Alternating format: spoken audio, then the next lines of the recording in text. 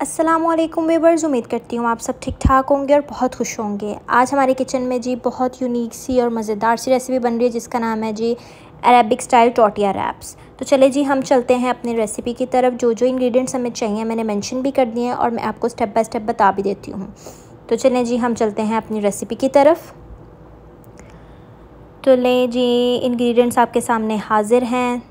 ले जी, हमने जी चिकन ले लिया था। बॉनलेस उसको क्यूब्स में लंबे लंबे स्लाइस में कट कर लिया था। उसके बाद जी योगर्ट ले लिया था हाफ़ बाउल उसके बाद जी तिक्का बोटी मसाला ले लिया था, तंदूरी मसाला ले लिया था। नेक्स्ट ये मैंने तिक्का बोटी मसाला और तंदूरी मसाला प्लेट में मतलब डाल भी दिया था और पीछे डब्बे रख के दिखा भी दिया था। उसके बाद जी सॉल्ट ले लेंगे वन टीस्पून उसके बाद जी one teaspoon red chilli powder ले लेंगे वन टीस्पून टर्मेरिक पाउडर यानी हल्दी ले लेंगे one teaspoon red chilli flakes यानी दड़ा मिर्च ले लेंगे। तो चलें जी, अब चलते हैं हम इसकी तैयारी की तरफ़। हमने जी इसको मैरिनेट करना है। योगर्ट में सारे स्पाइसेस को डाल के चिकन को मैरिनेट करके हमने हाफ़ एन आवर के लिए रख देना है। तो चलें जी चिकन में मैंने सारे ड्राई स्पाइसेस डाल दिए हैं। इसको अच्छे से मिक्स कर लेंगे। ये थोड़ा सा आपको पता है स्पाइसी जूसी मज़े का लगता है तो इसलिए मैंने थोड़े से स्पाइसेस ज़्यादा रखे थे। तो उसके बाद जी, हमने जी स्लाइस में कट किया हुआ चिकन डाल देना है। तो ले जी अच्छे से इसको मिक्स करके, आपने मैरिनेट करके, इसको आधे घंटे के लिए या फिफ्टीन मिनट से ट्वेंटी मिनट्स अगर आपके पास टाइम नहीं है तो आप इसको मैरिनेट ना भी करके रखें, आप इसी तरह सारा कुछ मिक्स करके आप इसको कुक कर लें। तो ले जी मैंने क्लेन पेपर के साथ इसको रैप करके इसको फ्रिज में रख दिया था। उसके बाद जी हमने एक पैन लेना है, उसमें ऑयल डाल देना है। अब बारी है जी चिकन को कुक करने की आधा घंटा गुजर गया था।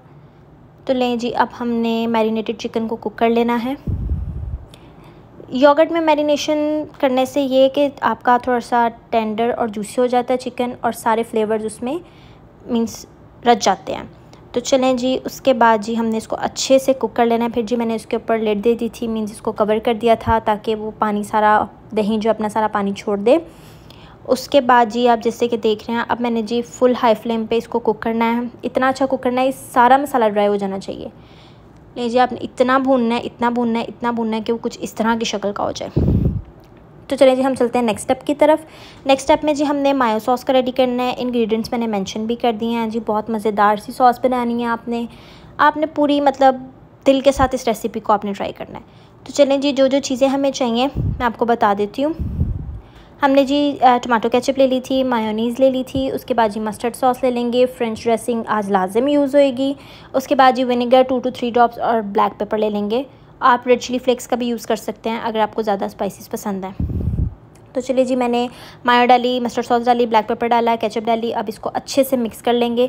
फ्रेंच ड्रेसिंग जब मैं मतलब रैप को बंद करने लगूँगी, तब मैं यूज़ करूँगी। उसके बाद चलते स्टेप नंबर थ्री की तरफ़, वेजिटेबल्स में जी कैबेज, कैप्सिकम अनियन वगैरह, ये सारी चीज़ें मैंने मेंशन भी कर दी और आप आगे देख भी लें।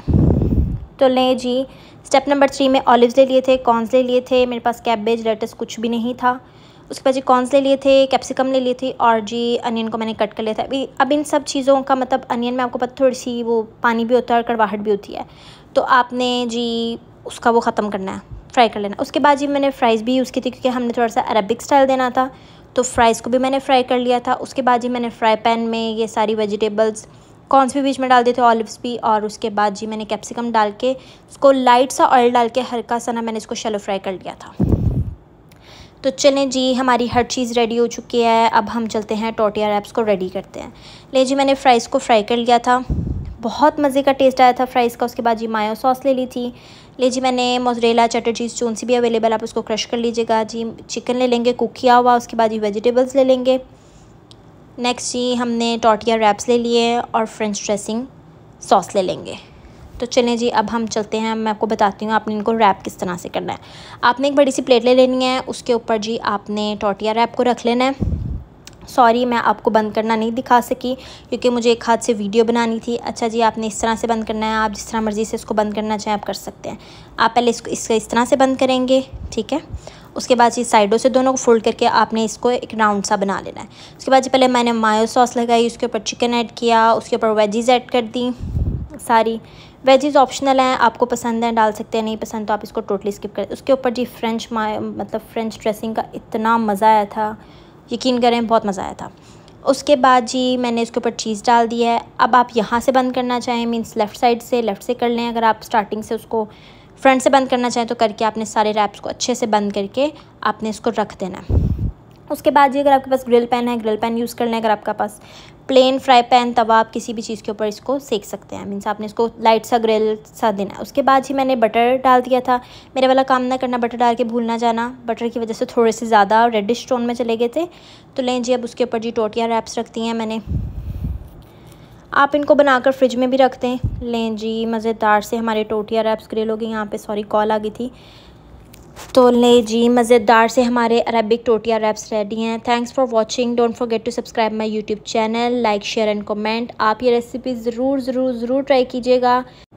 मज़ा ना आया तो पैसे वापस। अल्लाह हाफ़ रब रखा।